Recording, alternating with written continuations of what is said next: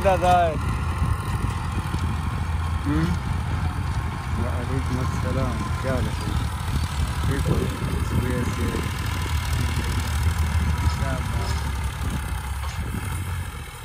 जगह भैंस जगह हाँ। बड़ा काम बनने बचे ना खड़े छोड़ा वाह बाकी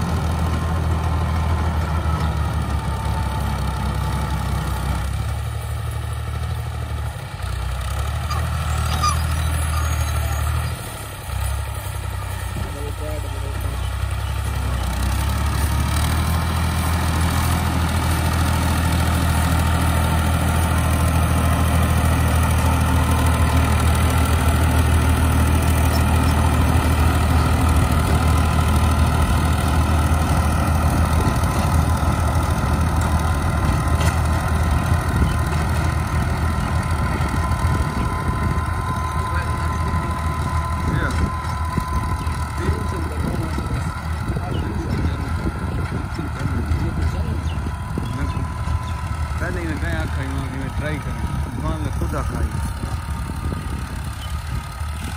लेकिन हम बहुत जल रहे हैं। मैं चले नहीं।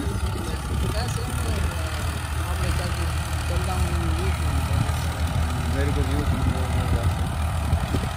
सर, नार कब तो कैमरे कैमरे